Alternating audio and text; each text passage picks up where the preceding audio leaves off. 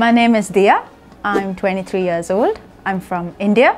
I came to the Netherlands to pursue my master's in molecular life science at the HAN University, and I'm currently interning at TropIQ Health Science. Uh, my name is uh, Koen Dechering. I'm uh, CEO of TropIQ Health Sciences, which is a, uh, biotech company in Nijmegen, and we work on tropical infectious diseases. Back home, um, we tend to basically concentrate our focus on the theory aspect that I felt like I lacked in the practical knowledge and which is why after graduation I did a year of internships. Now that I get to intern while I study, I feel like I'm building on it. The Master Molecular Life Science is a perfect combination of working and learning. It gets you trained in applied research and product development and obtain my master degree at the same time.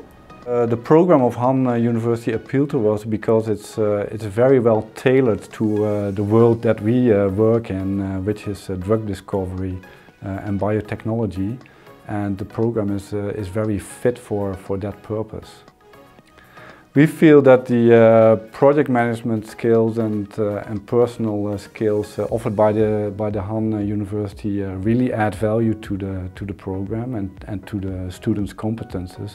And we can see the impact in the performance of the students. A key strength of the master course is that you get practical experiences while you're studying and the attractive scholarships that are being offered to an international student is a big plus point. This master's will make me a linking pin between technicians and experienced project leaders. It really uh, pays off uh, for us to uh, co-invest in this uh, program. Uh, we were very lucky. We uh, got a student that's performing really well. So we have um, a student that is actually performing at the level of an employee already.